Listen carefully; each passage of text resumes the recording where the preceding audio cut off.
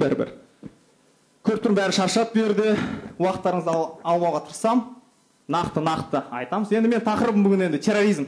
Бәріміз естиміз терроризм не екенін білеміз. Ә, қазақстанда болып жатқан іс шаралар бар әлемде болып жатқан іс шаралар бар. Енді терроризм ол үлкен. Бізде ашық айтқан тәуекел. Енді былай қарасақ ә, біздің террористтер ол әлеуметтік желіде отырады. Енді бірақ бірінші біз. Бізде жалпы әлемде былай қарасаң жеті миллиард адам да. Соның ішінде бізде үш миллиард адам бізде ә, неде отырады социальный сетьтерде былай қарасаңыз үш миллиард адам.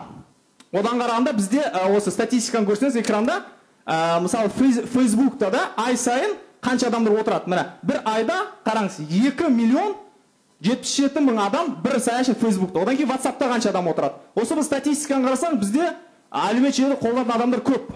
Олар өсіп жатыр көбейіп жатыр. И ә, түс технология дамып адамдар көп отырады дамиды. Сонымен былай қарасаңыз бізде платформаларда мына проценті жастармен да көбісі бізде 18-39 жасындағы адамдар социальный сетьтерде отырады. Ә, былай қарасаңыз фейсбукта қанша адам отырып жатыр ә, твиттер инстаграм сонымен алпыс төрт пайыз ол 18-ден 39 жастар. Ол біздің жастар адамдар осы көбісі отырады. Қалай ойлайсыздар кімдер көп отырады? Әйелдер ма ерлер ма? Мына қараңыздар статистикаға қарасаң жетпіс бір пайыз әлемде әйелдер әлеуметтік желіде отырады. Енді кішкене көптеу былай қарасаңыз ерлерден қарағанда. Сонымен ә, осы жастармен қараған кезде бізде енді ә, интернет қатты дамиды. Біз көп нәрсе пайдалы нәрсе табамыз оқимыз. Бірақ біз терроризм туралы. Террористтер олар интернетті одан да өзіне пайда іздейді. Себептен олар өзін ә, идеясын идеологиясын тарату керек. Адамдарды пропаганда жасау керек радикализация істеу керек. Сол себепті мына қарасаңыз мына әлем карта бойынша терроризм. Ең ана қарайып қалған елдер ол терроризмға жақындау. Мемлекеттер ол жерде терроризм көп ол жерде болып жатыр. Сонымен әрине сіздер білесіздер енді бізде террорист группалар көп. Ол айсис бар игил деп айтқаны бар бізде. Одан кейін аль каида бар. Олар әрине осы сеттерді қолданады. Себептен бәрі жастар сіздер әлеуметтік желіде отырасыздар. Дұрыс па? Бәріміз отырамыз. Сондықтан өйстіп адамдарды өзіне тартады. Себептен қазір сыртқа шығу керек жоқ. Интернет арқылы мен қазақстанда болып ә, туркиядағы адаммен әңгімелесіп соны радикализация жасау мүмкінмін бірақ құдай сақтасын ондай адам емеспіз ғой енді. Вот. Сондай жасау мүмкін. Сол үшін шетелге еш жаққа кету керек жоқ үйлерге бару керек жоқ баяғы жақта қағаздар таратып ондай қазір керек жоқ. Себептен интернеттің плюстары көп. Сонымен ең жақсы дамып жатқан системалар қазір қарасаңыз твиттер твиттер арқылы бізде енді ә, террорист организациялар қолданады.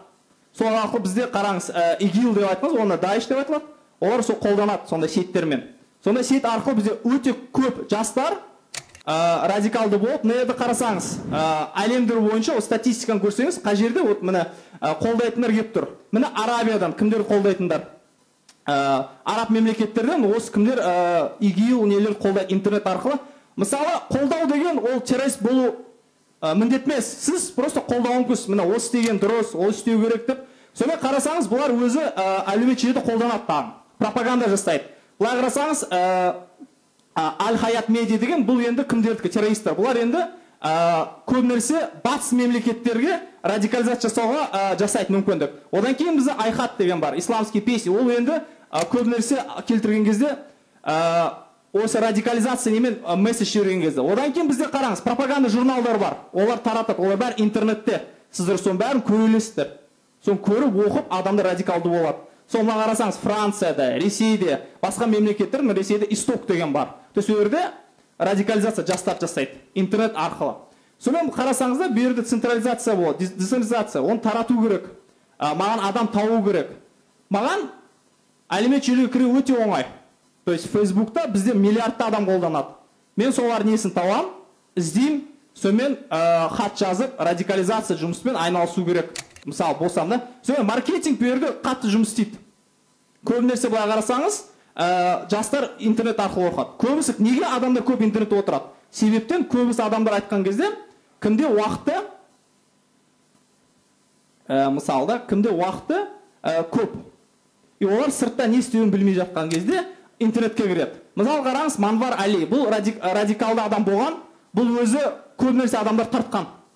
То есть ә, көп нәрсе мысалы ұлыбританияда радикал адам тартты бірақ кейін бұл кісі ә, британияда сотталып кейін неге келісімге барды? Бұл антирадикализация жұмысын бастады. Кезінде өзі радикалды адам болған. Жерде қараңыздар мына адамдар жас адамдар өзін не көрсету үшін джихадқа кеткендер олар туралы былай қараңыздар маркетинг жасайды.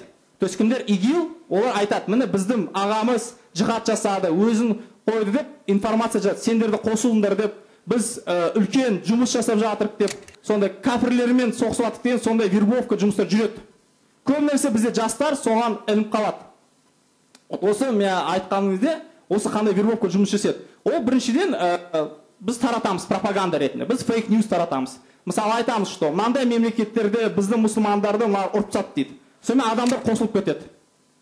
Ә, оған енді ә, центрлар енді қарсы шығатын мониторинг жасайды интернетте. Енді былай қарасаңыз сабап деген центр бар бұл пропаганда онлайн бұлар интернетте мониторинг жасайды мониторинг жасаған кезде осындай радикал жасатын нелерді бұлар ұстап алып сол жерде блокировка жасайды осындай жұмыс центрмен сонымен біз енді түсіну керекпіз что терроризм қазір интернетке ауысып жатыр қазір интернет террорист деген қазір не пайда болып жатыр сөздер қазір террористтер сізге медресеге шақырмайды олар сіздерге үйіңізге келмейді интернет арқылы сіздерді табады и сол жерде өйстіп жай басталып сіз сол жерге кіресіз былай қарасаңыз статистика екі мың он бесте өте көп твиттер блогтар радикалды ә, не қылды? Кірді сонымен ә, рахмет үлкен қызық болды деп ойлаймын сіздерге.